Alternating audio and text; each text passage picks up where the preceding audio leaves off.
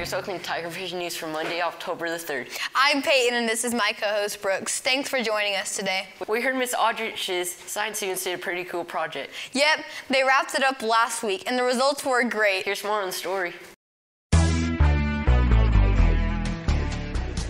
I'm Presley here with Miss Aldridge. What experiment are y'all doing? Well, we have been trying to learn about turgor pressure and geotropism by putting lima beans in petri dishes and then seeing how the roots always are going to grow down. And due to turgor pressure, the stems are always going to push up and out and go into the air. How did that experiment go? Well, for most of my kids, it went quite well. If they did what they were supposed to, they should have very nice lima bean plants growing as we speak. Thank you.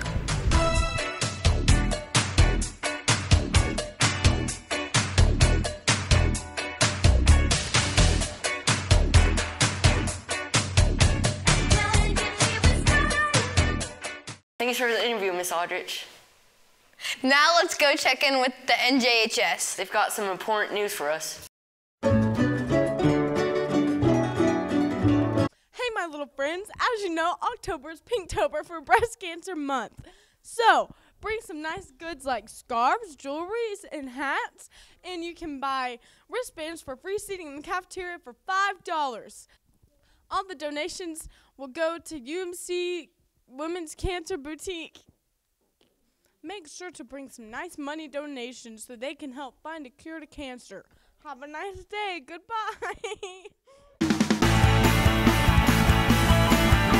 Nice. Everyone be sure to bring those We'll be items. right back after this. I want to sign up for UIL, but I don't know how. You can sign up for UIL in the cafeteria today. I think I'll be doing that. And computer lady, that was a great dab.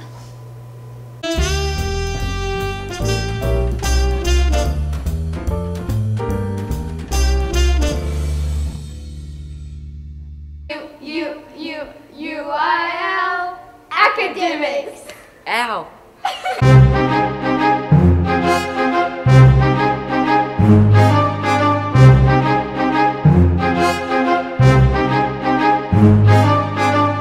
back to Tiger Vision News. Now let's check out with me and see what's going on in the weather. Check out. Hi, I'm Bruce here with the weather. It's partly cloudy, 75 degrees.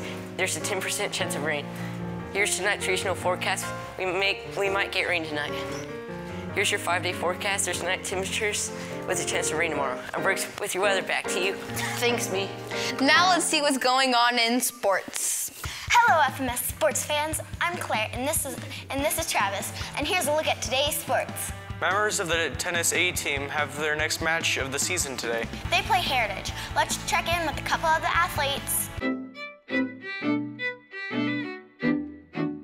Hi, I'm Claire, and I'm here with Amelia. Who are you playing today?